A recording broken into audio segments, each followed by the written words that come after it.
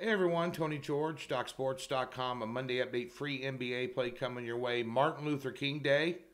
So that means there's basketball on all day long, college and pro, some good games. Uh, Illinois Purdue gonna be a hell of a game in college.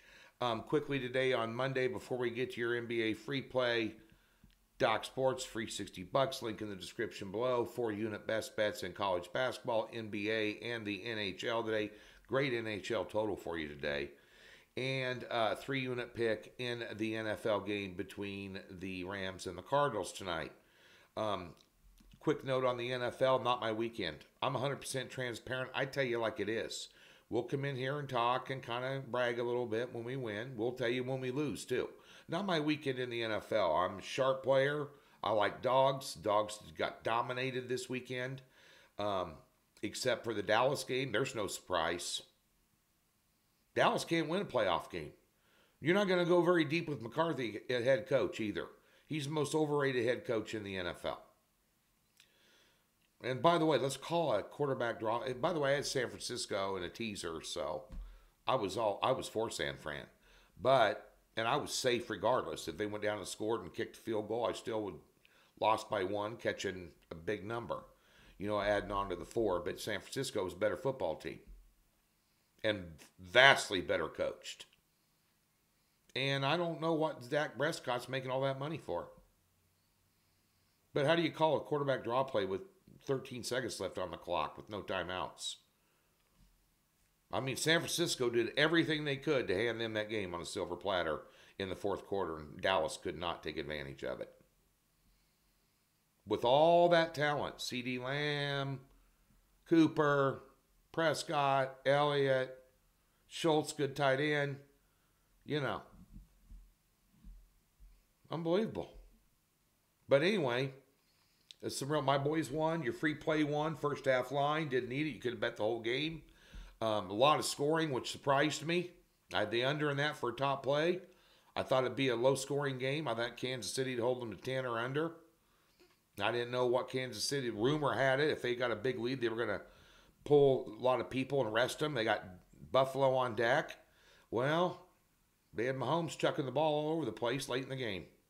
So just a bad weekend for me. I'm pissed off about it. What my weekend in the NFL? Tell you like it is. Uh, we'll bounce back, uh, get a little win tonight, and we'll have a great uh, round one here now that the wild card's over.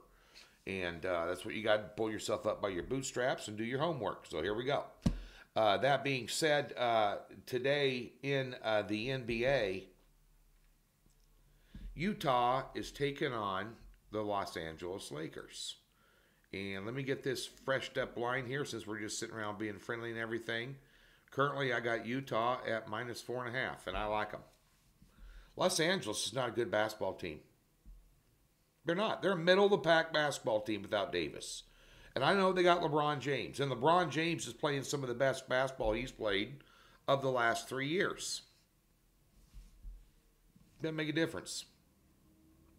It's a mediocre basketball team against an elite team.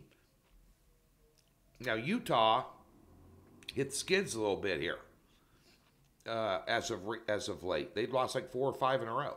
They had some injury issues, some COVID issues. It's going to happen. Going to happen to everybody, no matter how elite you are you know. And Utah has another um, systematic problem they need to take care of is they kind of tend to play to the level of their competition.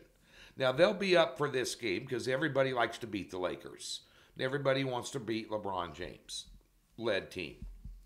But the Lakers last game they played Denver. They lost by 37 points. Last game Utah played, which was last night, they beat that very same Denver team by 23. The line's four and a half here. Now, usually I like to fade teams after playing in the altitude the night before on back to backs or going on the road and playing somebody decent, laying a number. That's an automatic fade spot, except when your home floor is also in the altitude and you're used to playing in the altitude. Not going to affect them number one offense versus a number 27 defense. That is a mismatch. And that's what we have here with Utah against LA. LA has allowed 123 points per game on defense their last five games. That is not going to cut it against the NBA's number one offense, who will come in here with purpose. And the other thing, too, is Utah hits the boards. They're aggressive and they hustle. They're well coached by Quin Snyder. They really get after it. Uh, LA doesn't. They're lazy. They're lazy. Utah, lay the four and a half over Dallas.